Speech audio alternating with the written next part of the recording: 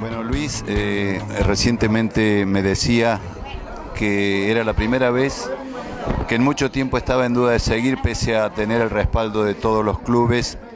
Hoy acaba de confirmarse eh, una etapa más. Sí, bueno, las dudas no tienen que ver con el respaldo de los clubes, tienen que ver lógicamente con tiempos de familia, tiempos laborales, nuevos proyectos. Yo tengo un profundo afecto por la Liga de Fútbol de Neuquén, considero que hemos, hemos dejado nuestra impronta, que como decía, hay cosas para resolver, pero hay muchísimas que hemos logrado. Y la verdad que también entiendo que para preservar todo ese trabajo hay que lograr en estos dos años conformar un equipo que, que pueda darle una continuidad y hay cosas para transferir. Es difícil transferir la experiencia si uno puede ir contando, acá hay un pozo, acá pasó esto, y transferir los contactos, que es lo básico, es lo que me han pedido los dirigentes y ustedes lo han visto en la asamblea, un respaldo unánime. Y la verdad que es una alegría, también un reconocimiento, uno a veces como dirigente necesita esos mismos, porque generalmente la opinión está cuando las cosas no están bien o cuando no salen bien, y cuando las cosas están bien uno da por sentado que, que el dirigente no necesita ese reconocimiento y la verdad que sí lo necesitamos, así que esto para mí es un mismo enorme. Eh, hace un tiempo también decía que mientras ustedes estén en la liga, la prioridad la van a tener las formativas para eh, obligar un poco a los clubes a trabajar en ese sentido. ¿Se siente apoyado? ¿Siente que esto funciona? Eh, Yo lo que dije en la, en la asamblea, siento que al principio no se entendía muy bien, después creo que fueron viendo los resultados inmediatos, después los resultados a mediano plazo y creo que hoy está sin discusión. Hoy está sin discusión que los clubes, su futuro está en la formativa, que nuestra, eh, todas nuestras acciones están direccionadas a favorecer esa competencia, a mejorarla, a que haya personal idóneo al frente de esa formativa, a que se mejore la, infraestructura deportiva, que va a ser lógicamente una consecuencia de una mejor formación, una mejor calidad de la competencia, y si alguno buscara resultados, seguramente esto se darán por, por esa consecuencia de todo ese trabajo, pero seguimos en ese sentido, yo contaba lo de Grifa, ahora el 6, y Grifa es un especialista en inferiores, no un especialista en primera división. La mirada nuestra va a seguir siempre siendo formativa porque estamos convencidos, no es antojadizo.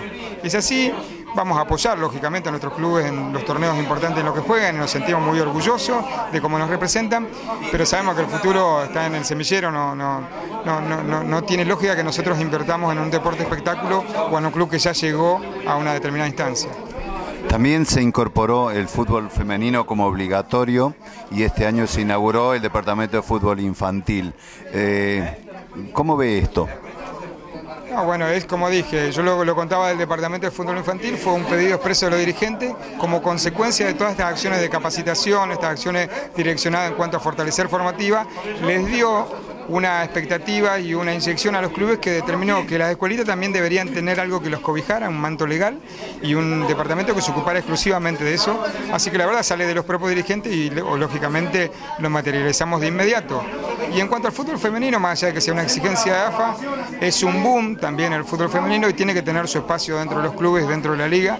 Así que insisto, va a llevar un tiempo más porque, como digo, hay que lograr completar un semillero y, lograr que los clubes sea realmente seductor para ellos el fútbol femenino, pero estamos en ese proceso y, y los clubes lo han entendido. Eh, sabe que yo en Siguiendo a Pata recibo muchas eh, críticas respecto de la promoción o de lo que yo informé del fútbol infantil porque dice que se le transfiere a los chicos mucha presión.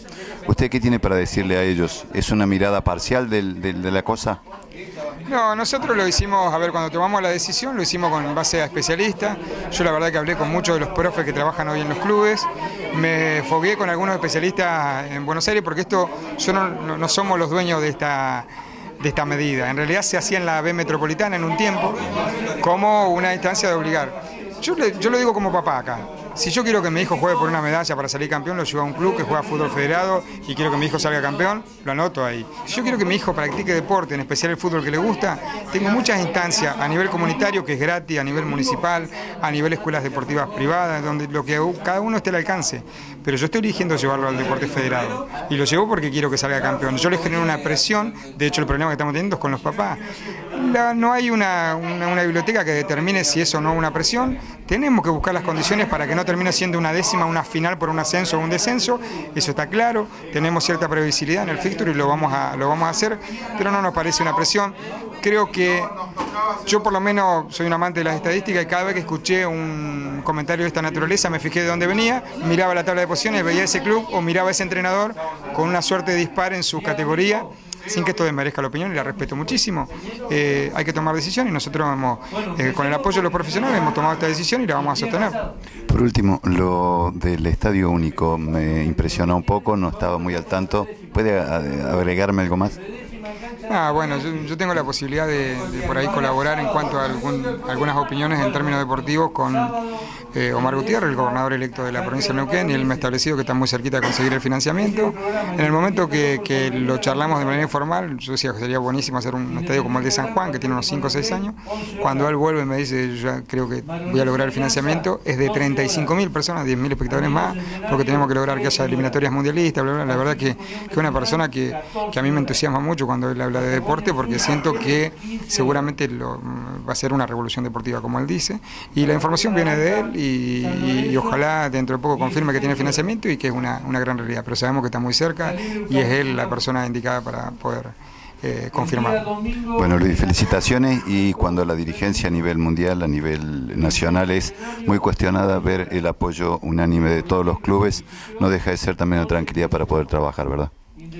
Ah, seguro. Bueno, el fútbol a nivel mundial y a nivel nacional está pasando, como lo dije, un momento muy difícil de, cuestionamientos que, sobre los marcos de legalidad y de las acciones que han llevado adelante muchos dirigentes y la justicia ya los está investigando. Será algo que tendrá que dar cada uno explicaciones. Yo puedo dar explicaciones por las acciones nuestras dentro del IFUNE y en ese contexto también reconociendo que nosotros no estamos dentro de un andamiaje económico que permita ningún tipo de tentación ni nada por el estilo y validando las pretensiones personales de cada uno, de, que, de por qué está acá. Eh, nosotros estamos muy lejos de eso, la verdad que se nos puede cuestionar la toma de decisiones, afortunada o acertada o no, pero no ese tipo de cosas y me parece que no le hace bien al, fútbol y que, que haya una cuota de frescura en distintas ligas, en distintos lugares del interior, tiene que ver con que seguramente esté la posibilidad de recuperar lo que hemos perdido. Bueno, muchas gracias y felicitaciones, Luis. Bueno, muchas gracias a ustedes por todo lo que hacen.